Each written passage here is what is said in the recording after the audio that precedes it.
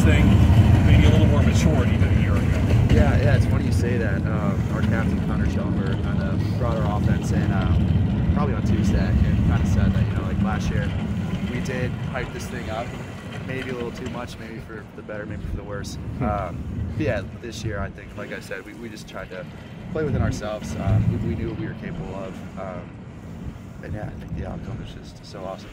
It's uh, it's a credit to Shelly for kind of bringing us down a notch and, and being that captain that he is. Lars was telling us that he's been pleading for you to attack the goal. Do you forget sometimes just how powerful the Dodger you are?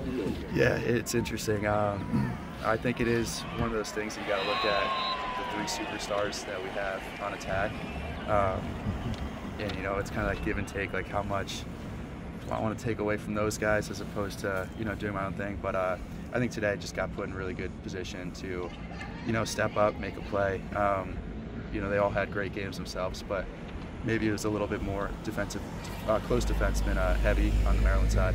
Um, so, you know, the, the, midfield just saw an opportunity, and I think we took advantage of it for sure. Can you give us an idea of the intensity of the rivalry from field level? I mean, you know, there's a lot of obviously emotions on both sides of the field. Uh, and the tradition of both programs and that kind of thing. Yeah, it, it was definitely intense. I, I, think it goes back um, probably to when we won it, um, forgetting the year, but um, 21. 21. I, I, think that's uh, that's when I kind of feel the rivalry. rivalry. Um, obviously, it goes back way farther than that, but I think these past couple years, it's definitely been one of the games that we circle every year. Um, I know our defense has this one circled for sure. Uh, we, we put in a whole new defensive set in the fall in preparation for these guys. Um, so I think, yeah, it's definitely an intense game, but it's definitely a game that you know us competitors really want to play. And um, and it, yeah, it was such an awesome feeling being out there and you know having that whole energy of the stadium. I mean, it was a loud stadium for sure. Um, so yeah, it was just awesome being out there, and I'm privileged to be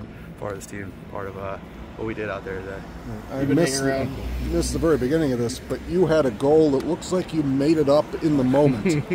okay, and you, how did you end up with a half backhand, underhanded, whatever that was?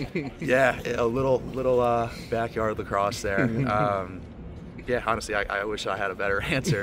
Um, I know You've it's been hanging around Boyden. Yeah, exactly. Yeah, yeah. Did, did you see that coming, or did you just react? I just kind of reacted. I know it was low in the shot clock. I just tried to get something there. Um, hands were pretty tied up, so couldn't really switch the left hand. Um, well, if they're going to put a series of the best goals ever scored here, that might be a top 20. That was fantastic. That. Thank you. I appreciate it.